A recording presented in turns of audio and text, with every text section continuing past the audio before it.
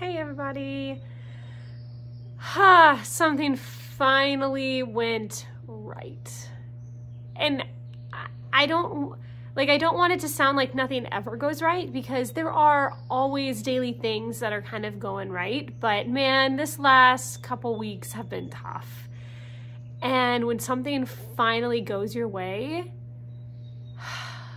what a relief. So today, um, and I decided to try and do it early since uh, NIH is on the East Coast. You know, I knew they would probably be already getting busy by the time I woke up in the morning. I uh, decided to give them, a, to start giving a couple hotels a call before I had to get to work. And um, just looking online at the different prices for hotels, um, our we have a $120 a day stipend that we get from NIH um, or a refund that we can get for lodging and that doesn't really feel like it's going to go very far. Um, I did find like I was looking at like some Airbnbs and some of those are at about 120 a night and but looking at hotels like almost all of them are way over that stipend. Some of them are like 300 something dollars a night and I'm like even with that like we can't really afford it. But I took the advice of the folks over at NIH who said if you give them a call, a number of them have special deals for patients of NIH. And I was like, okay, well, we'll see. And I I probably could have picked a different hotel, but this one apparently is only about five blocks away and I'm only about a 10 minute walk from NIH. So I figured that would work well. Um, it's not on the shuttle line because it's so close. So we'll try. I'm like, we could try that, but let's see see what they say. And so I call up and I mentioned that I was an NIH patient. She goes, "Oh, okay. Well, then our charge for NIH patients is $109 a night." Yay! I was like, "Really?" And she's like, "Yeah." Um, and I was like, well, let's do this. Like, let's, let's go ahead and get me signed up. Uh, the only thing, like, I haven't received a confirmation email yet. Um, she did give me a confirmation number, but I figured I'd call back and make sure they got my email address right if I don't get something by tomorrow.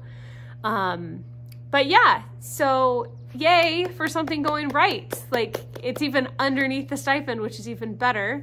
Um, we'll get a little bit of walking in, and maybe I will regret that because people have also said the NIH campus is huge.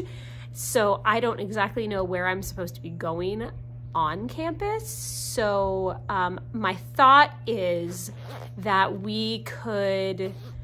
Um, when we well depending on when we get in. We're not supposed to get in until about six o'clock at night i think on sunday. So depending on when we get to our, our hotel if we're feeling up to it maybe we can just take the walk to nih so we know kind of where i'm going. Because i'm supposed to be there for like 7.30 in the morning the next day.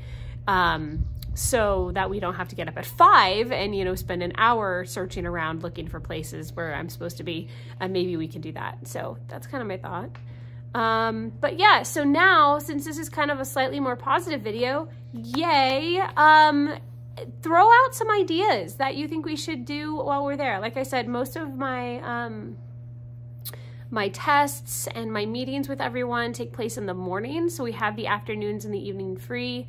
Um, and yeah, someone had mentioned a monument tour at night. So I I have that on my list. I want to look at that and see um, if we can do that. But I know there's other places and other people have put, um, you know, some of like a lot of the museums are all free and you can go to those.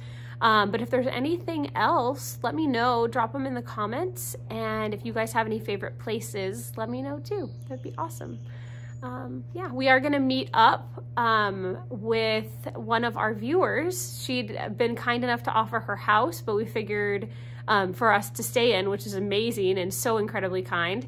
Um, but we figured this first round, since we need to kind of get to know where we're going, we would stick with the hotel. Um, but we are going to meet with her or try and meet with her for dinner one night um, just to get to know her. So, yeah, that'd be pretty exciting. Hey. Okay, um, I'm gonna leave this on a positive note, and um, and yeah, good things. We'll keep keep holding this space for good things and better things to come. Yeah, there we go. All right, guys, I appreciate you. Be kind, make good choices, and I'll see you later.